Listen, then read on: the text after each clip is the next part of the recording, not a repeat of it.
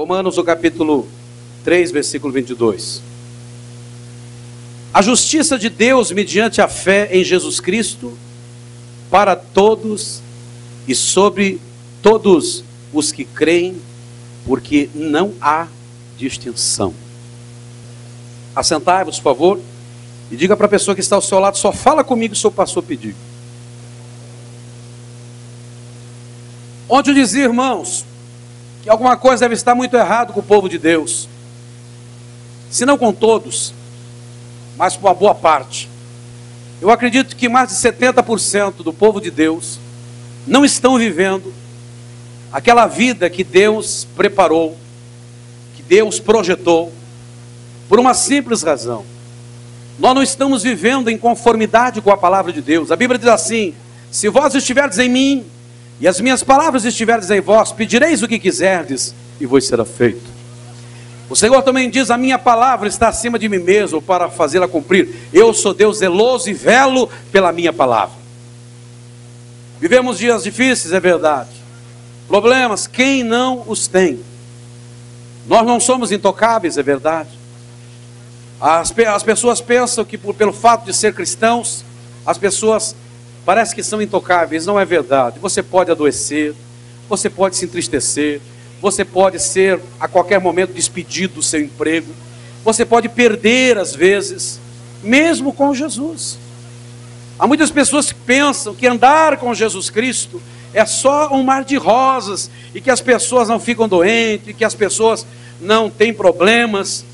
Irmãos, eu já contei várias vezes o testemunho do meu irmão. Muitos de vocês aqui já conhecem. Quantos já ouviram o testemunho do meu irmão aqui? Levante a sua mão. Nós temos poucas pessoas. Eu tenho um irmão chamado Josias, que quando ele tinha 14 para 15 anos, ele foi cometido de uma enfermidade chamada Síndrome de Guillain-Barré. Uma doença descoberta por um francês. Para que vocês tenham uma ideia da gravidade dessa enfermidade, de um milhão de alcoólatras, um alcoólatra pode contrair essa enfermidade. Hoje a ciência prova que se os avós viveram no alcoolismo, há uma grande probabilidade do neto, do bisneto e até o tataraneto, pelos genes, passar enfermidades hereditárias. Hoje é muito comum você chegar no hospital e o médico diz assim: olha, alguém da sua família tem diabetes?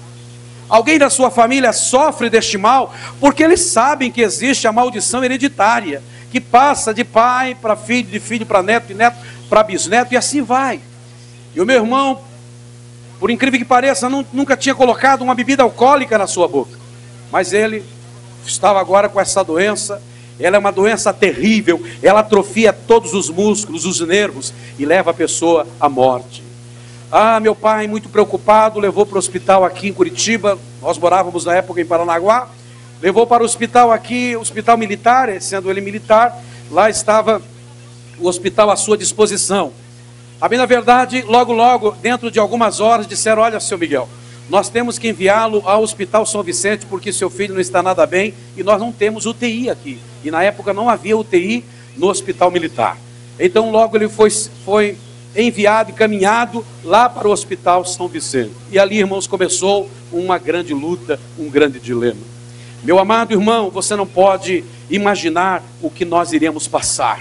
As dificuldades foram tantas, os problemas, aquela enfermidade foi de uma forma tão terrível no corpo do meu irmão, que a sua boca veio parar na orelha, as suas mãos ficaram todas tortas, os braços virados, os pés também. Ele não podia se alimentar, começou a viver e começou a, começou a vegetar na UTI. Um dia os médicos chamaram e disseram assim: Olha, seu Miguel, nós precisamos desligar os aparelhos, porque mais pessoas com mais condições de vida estão perdendo a vida e eles, ele, eles poderiam muito bem usar esses aparelhos, e para o seu filho não há mais jeito, não tem mais condições. Tudo o que nós pudemos fazer, nós fizemos, não há mais como salvar o seu filho.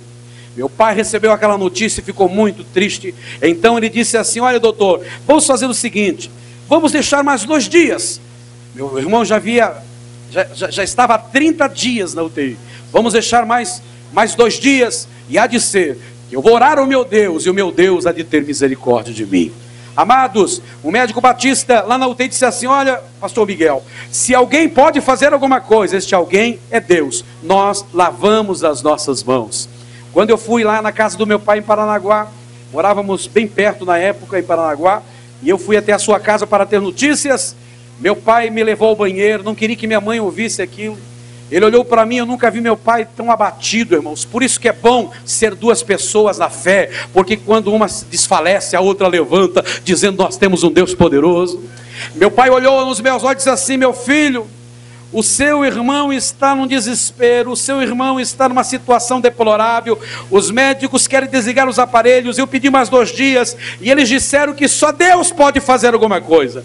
Eu olhei para ele e disse assim: Papai, a Bíblia diz que ainda que esteja morto, viverá. Se o Senhor pediu dois dias, é muito tempo para Deus operar um milagre. O nosso Deus é o Deus do impossível, do inatingível, do invisível. O nosso Deus é um Deus que opera sinais, prodígios e maravilhas. Então eu disse assim: Papai, sabe o que nós vamos fazer? Em época de crise, irmão, sabe o que nós fazemos? Nós não entramos no quarto para chorar e se lamentar e reclamar e dizer, Deus, por quê? Por quê? Por quê, Deus? Por que meu filho? Por que meu pai? Por que minha mãe? A gente diz, Senhor, para quê? Porque o Senhor tem uma grande vitória, o Senhor tem uma grande bênção para dar, o Senhor é o Deus do impossível e o Senhor está no controle da nossa vida. Eu disse, papai, hoje nós vamos lá para casa, nós vamos passar a noite toda louvando a Deus, orando a Deus, e Deus vai dar uma resposta. E então aconteceu, nós nos reunimos na minha casa e começou ali por volta da meia-noite, começamos uma vigília. E dá-lhe oração, e louvor, e louvor. Quando deu três horas da manhã, alguém bateu palma na minha casa, e eu estava ali dirigindo aquela oração, meu pai foi atender. E a pessoa disse assim: Olha, seu Miguel, nós não temos assim tão boas notícias. O senhor precisa levar as roupas, os documentos, porque o seu filho acabou de falecer na UTI. Meu pai entrou e eu vi assim que ele estava bem abatido. Nós terminamos aquela parte, demos um tempinho e fui até o banheiro da minha casa com meu pai. E meu pai disse assim: Filho, o pior que você pode imaginar aconteceu. E eles querem que eu vá para Curitiba urgente, mas eu não vou, porque eu pedi dois dias para o meu Deus, e o meu Deus vai entrar em ação. Eu disse isso mesmo, meu pai. Nós vamos continuar é orando e perseverando. Irmão, sabe qual é o problema do povo de Deus? Não é orar, eles oram. O grande problema é que nós não perseveramos em oração. A Bíblia diz que nós precisamos orar sem cessar. Deus está disposto a transformar a sua vida e você vai contemplar este ano os grandes milagres de Deus, porque nós somos contemporâneos de uma época maravilhosa do qual o Senhor separou e o tempo de hoje é o tempo de milagres, é tempo de vitória, é tempo da virada. Deus vai virar o seu cativeiro e você vai ver as maravilhas que Deus vai operar na sua vida. Levante a sua cabeça, porque a sua vitória vai chegar. A sua vitória já chegou nesta noite. Le balaueche candalialá. Irmão, você pensa que meu pai foi no, no 31 dia? Não, nem no 32. Ele só foi no 33 dia. Ele disse: nem que esteja podre, mas eu vou só no 33 dia. E ele conta com as suas palavras que quando ele foi lá, ele sobe a rampa do, da, da UTI, irmãos, que ele vai entrando naquela porta móvel, ele olha assim está o meu irmão sentado, irmãos. Os médicos chamaram e disseram assim: Seu Miguel, nós não sabemos o que aconteceu. Era por volta de três horas da manhã. Nós já estávamos realmente arrancando todos os aparelhos, levando o corpo para o niclotério. Quando de repente alguma coisa o tocou, ele deu um espirro e começou então a viver. Já não precisava mais dos aparelhos. Este Deus é o Deus que eu prego, é o Deus que eu sirvo, é o Deus que eu estou aqui pregando, meus amados.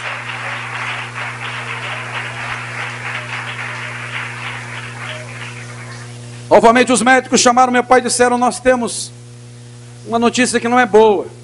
Ele está fora de perigo, mas nunca mais vai poder andar, nunca mais vai poder falar, nunca mais ele vai poder contrair uma família, porque todos os seus nervos foram afetados, os seus neurônios. Ele não vai conseguir mais agir como ele agia, pensar como pensava. Irmãos, e ali começou um dilema maior ainda, porque aquele mocinho de 14, 15 anos agora, ele nós tínhamos que pegar assim no colo, como se fosse uma criança de quatro, de três, quatro anos. E eu levava ele para o banheiro para dar banho, meu pai. Apenas um cano para do lado da boca torto para poder dar comida líquida para ele. Só suco, alguma coisa assim, sopa. Ele tomava, batia no liquidificador. E passaram-se alguns meses, passou três meses, e a fisioterapeuta meu pai comprou uma cadeira de roda, mesmo a cadeira de roda ele não conseguia movê-la. Um par de muletas não conseguia. Ficou todo debilitado. Uma vez eu entrei no quarto e minha mãe em lágrimas disse assim: Deus, por quê, Deus? Se era para deixar desse jeito, por que, que o Senhor não levou? Irmãos, não questione o seu Deus. Jamais devemos fazer essa pergunta para Deus, por quê? Quando você está dizendo assim, Deus, por quê? Você está dizendo assim, Deus, o Senhor não sabe o que faz e o Senhor tem que dar satisfação para mim. Irmãos, Deus não tem que dar satisfação para ninguém. O nosso Deus ele não tem conselheiro, ele sabe o que faz. O nosso Deus é perito em assuntos. O nosso Deus não conhece derrota. O céu não conhece derrota. Os nossos inimigos nunca viram o nosso Deus pelas costas, mas o nosso Deus viu todos os inimigos pelas costas, porque corre diante e vão correr sempre os inimigos de Deus, porque maior é aquele que está conosco, o Deus de Israel, o Deus Todo-Poderoso. Você acredita que Deus vai mudar a história da sua vida? Você crê que nessa noite Deus te trouxe aqui para que a sua fé seja renovada e a justiça da fé na pessoa bendita de Jesus Cristo vai acontecer e os milagres vão acontecer na sua vida? Irmão, não deixa a incredulidade tomar conta do seu coração, porque a incredulidade é como a onda do mar. Você já viu aquele crente que vai e volta, vai e volta, vai e volta? É o crente ioiô, ele está lá em cima, está lá embaixo. Meu filho, tu não nasceu para ser cauda, tu nasceu para ser cabeça. Você está por cima e não por baixo, é o que diz a palavra de Deus. Então chegou o dia das mães. Aquele dia memorável, todo mundo se reúne com a família. E eu me lembro muito bem. Minha esposa, minha mãe, minhas irmãs estavam fazendo aquela maionese gostosa, aquele macarrãozinho. Meu pai disse assim: Filho, eu vou assar uma carne ali fora, cuida do teu irmão. E colocou ele assim, sentado no sofá, deitado, melhor dizendo, no sofá. Eu aqui sentado de frente para ele, eu me lembro como se fosse agora. Quando eu olhei para ele, sabe, eu senti uma compaixão tão grande. E eu estava com a Bíblia no meu colo. E eu li Salmos de número 27. O Senhor é a força da minha vida. De quem eu temerei? Irmãos, a palavra, por isso que ontem Deus deu aqui uma, uma palavra. E depois Deus chamou as pessoas que começam a ler a Bíblia. Parece que a Bíblia se tornou sonífero. Já viu que a pessoa não dorme, mas ela pegou a Bíblia, rapaz, ele ronca. Tem gente que começa a ler o, o capítulo, o versículo, de repente ele se perde nos versículos. Ele começa de novo, de repente está perdido. Não tem mais sentido a palavra de Deus para ele. Meu irmão, toma cuidado. Porque a palavra de Deus é espírito e vida. A palavra de Deus tem algo chamado, irmãos, na luz da palavra de Deus, existe a palavra rema. Quando Deus revela a você a palavra rema, é porque o milagre de Deus vai acontecer. E quando veio aquela palavra, o Senhor é a força da minha vida, eu já lancei para o meu irmão e disse: Olha, se Ele é o Senhor da minha vida, e Ele é a força da minha vida, é a minha salvação, eu não temerei, Ele é a força da filha do meu irmão, então nós estamos aqui e o milagre vai acontecer. Olhei para ele e disse assim: Josias, eu sei que você não pode falar, não pode andar, não pode nem se mexer, mas eu quero lhe dizer que o Senhor é a força da sua vida. Parei por aí? Não, porque irmãos, existe a praticidade da fé. Eu fui até onde ele estava, peguei o seu corpo, coloquei ao lado do meu, quase quebrei o seu braço, coloquei o braço dele ao lado do meu pescoço, ergui o seu corpo leve e disse assim: Josias, você não pode falar por enquanto, mas eu posso dizer: o Senhor é a força da minha vida. E comecei a carregá-lo dizendo: o Senhor é a força da minha vida. De repente, irmãos, oh lamaueche candalatiabalaias, eu comecei a ouvir estralos e a boca dele começou e os nervos, o doutor Jesus, que é clínico geral, tocou da planta do pé ao alto da cabeça. Os seus braços se soltaram, as suas pernas se soltaram, a sua boca voltou ao normal. Ele começou a sussurrar: O Senhor é a força da minha vida.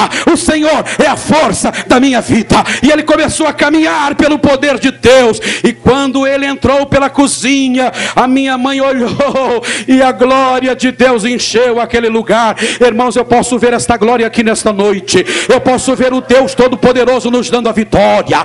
Quantos acreditam nisso, levante a sua mão direita ao Pai e diga: Eu creio nesta palavra, eu creio neste Deus, eu creio neste Jesus Cristo. Irmãos, eu posso ver anjos agora, já descendo aqui nesta noite, para te dar a vitória e a resposta, porque o milagre de Deus vai acontecer. O milagre de Deus vai acontecer. Aleluia.